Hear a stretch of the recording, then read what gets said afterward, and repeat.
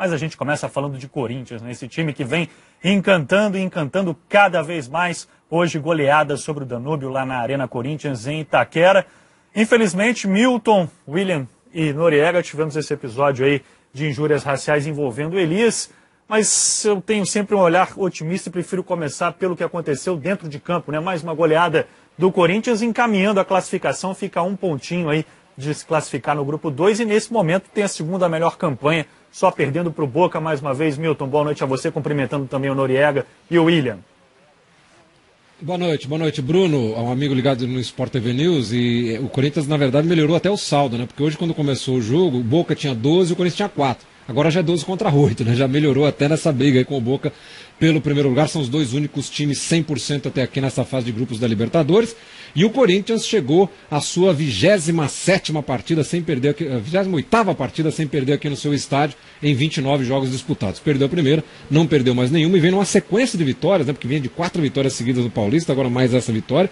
Um pontinho para não depender de ninguém, né? Ou seja, mas dependendo do que acontecer com o São Paulo e com o São Lourenço, o Corinthians pode até se classificar com esses mesmos 12 pontos. Mas enfim, aparentemente, William, a gente vai começar a ver os melhores momentos. O Corinthians já começa a pensar mais nessa classificação geral do que propriamente no grupo, né?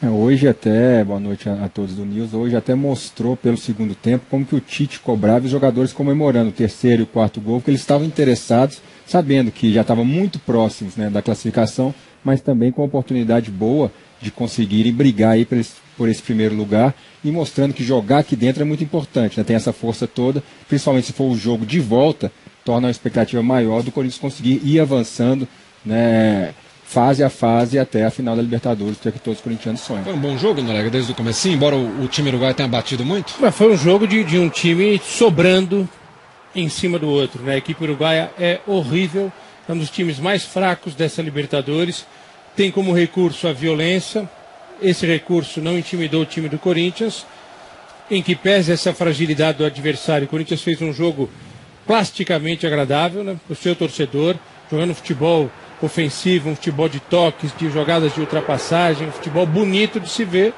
Eu não tenho dúvida alguma em afirmar que hoje o melhor time do Brasil é o Corinthians.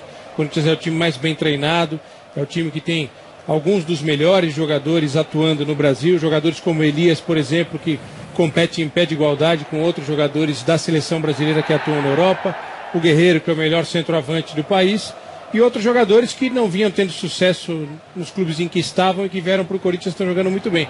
Está vendo uma falta sofrida pelo Guerreiro aí.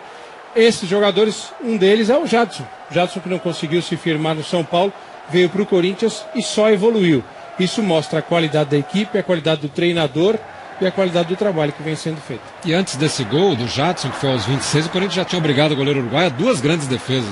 Né? É, tava dando a impressão até que o goleiro seria a personalidade da partida, né? Porque até então tinham três grandes oportunidades que o Corinthians teve e ele tinha defendido.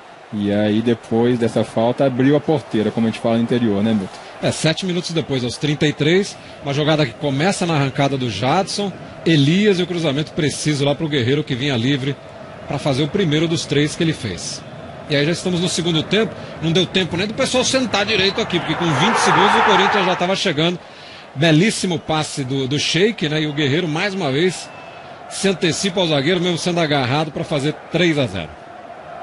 É impressionante como ele consegue sempre chegar na frente do zagueiro sendo puxado, sendo agarrado e mesmo assim ele está na bola, né? E a origem da jogada, o Felipe dá um chutão, ele que é outra característica muito, característica muito boa dele, ele protege e às vezes consegue escorar essa bola. Ele fez isso, correu para a área e fez o terceiro. E o segundo gol, o terceiro gol dele, o quarto do Corinthians, é muito parecido na, na chegada com o zagueiro. O zagueiro agarrando, ele consegue chegar na frente para cutucar essa bola, mais um passe ali, mais uma assistência do Jadson na cobrança da falta.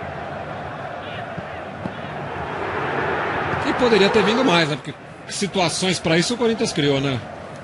É, aí o Petros né, finalizou muito bem, o goleiro, depois ainda o Wagner Love chuta na trave.